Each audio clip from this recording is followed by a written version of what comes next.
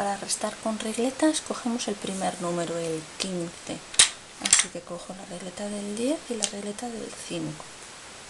Y una vez que tengo 15, tengo que quitarles 8.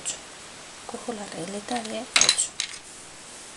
Si les quito 8, ¿cuánto me queda? Me queda esto. Tengo que buscar la regleta que me quepa en este hueco. Esta no, una un poco más grande esta tampoco, un poco más pequeña. Tiene que ser la de 7 la de 7 es. Si a 15 le quito 8 me va a quedar 7